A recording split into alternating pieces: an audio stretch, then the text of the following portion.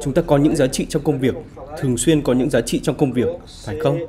Như phải hết mình khi làm việc với người khác, đồng ý không? Đó là vấn đề tôn trọng người khác, bởi vì chúng ta cho rằng người khác cũng sẽ hết mình và đó thực sự là một cách để làm thay đổi mọi thứ để không trở thành một gánh nặng cho mọi người. Mỗi người đều có công việc của mình và cần tiến bộ. Những người làm việc chậm, nếu không phải là lỗi của họ, thì chúng ta có thể giúp họ, thúc đẩy họ làm việc. Nhưng nếu có những người thiếu tự giác, thì nên gặp họ để biết rõ và xác nhận vấn đề nằm ở đâu. Và hãy thử tạo lại động lực. Nếu không thể tạo lại động lực một lần nữa, thì sẽ cần tìm ra một giải pháp để làm sao cho thái độ này không ảnh hưởng đến tinh thần chung của nhóm. Bạn cần phải có sáng kiến và sẵn sàng nhận rủi ro. Vì nếu bạn muốn được theo sát, nếu bạn chỉ muốn thoải mái và dễ chịu, bạn sẽ gặp khó khăn khi muốn tạo động lực cho người khác.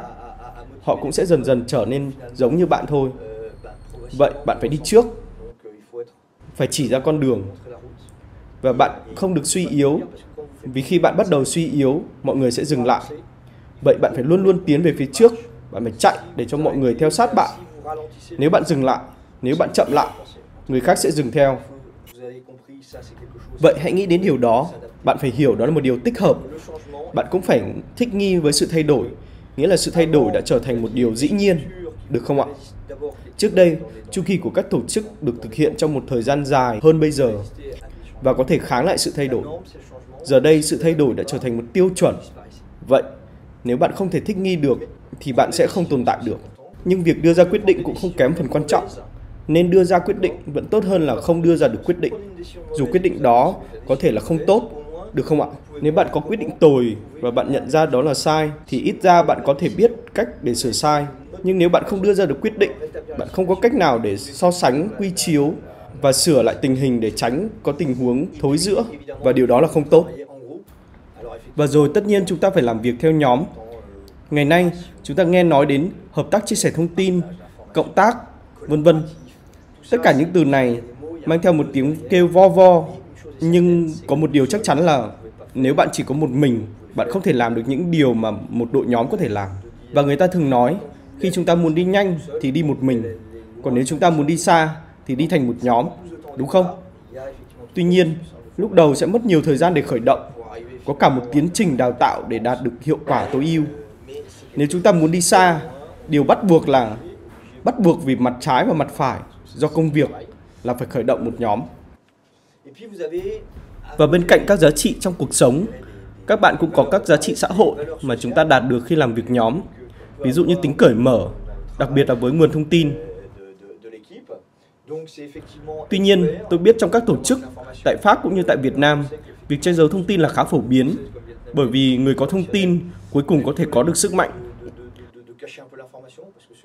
Chúng ta đang chuyển sang một thế giới trong đó chúng ta muốn gây ảnh hưởng và phải chia sẻ thông tin và chúng ta muốn gây tác động cho nên phải công bố thông tin, phải chia sẻ thông tin.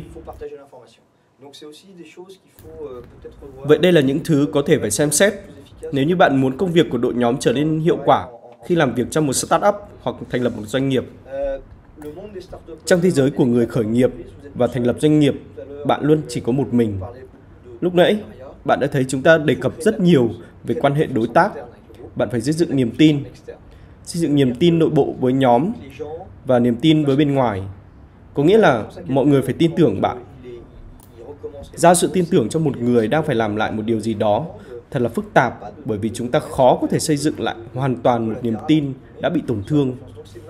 Vậy chuyện ở đây là hãy là chính mình. Hãy tin tưởng và hãy làm cho mọi người công nhận mình như là một người đáng tin cậy. Phức tạp thật. Điều này sẽ mất nhiều thời gian và là sự đầu tư dài hơi.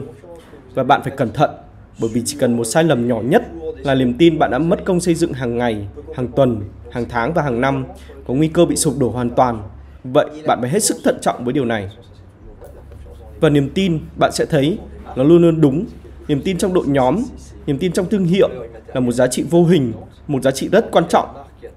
Khi một thương hiệu bị tấn công về niềm tin, nó sẽ bị mất giá trị ngay. Chúng ta cũng vậy và bạn phải tôn trọng người khác, tôn trọng cách làm việc của người khác, tôn trọng sự khác biệt và cố gắng hiểu sự khác biệt đó. Tôn trọng sự khác biệt không có nghĩa là phải chấp nhận tất cả hay bất cứ điều gì nhé. Thực tế là bạn phải chịu trách nhiệm đối với nhóm của bạn. Có các quy tắc và phải làm sao cho mỗi người vừa tuân thủ những quy tắc đó, vừa tôn trọng sự khác biệt của mọi người. Bạn phải biết nhận sự trách nhiệm. Khi có người cần bàn giao trách nhiệm, bạn phải nhận nó. Nếu không, mọi thứ sẽ không thể tiến triển được. Và bạn ở trong đội nhóm bởi vì bạn mang theo một điều gì đó và người ta tin tưởng vào bạn để bạn nhận trách nhiệm và đóng góp cho người khác, giúp nhóm tiến lên phía trước. Còn ở đây, đánh giá và được đánh giá, khen thưởng và được khen thưởng, tất cả phải dựa trên kết quả. Đó cũng là một điều quan trọng, nhất là trong các doanh nghiệp ở Pháp hay ở Việt Nam, do đôi khi các phần thưởng có phần nào phụ thuộc vào các mối quan hệ. Vậy nên, lấy tiêu chí là hiệu suất làm việc được không? Đó thực sự quan trọng.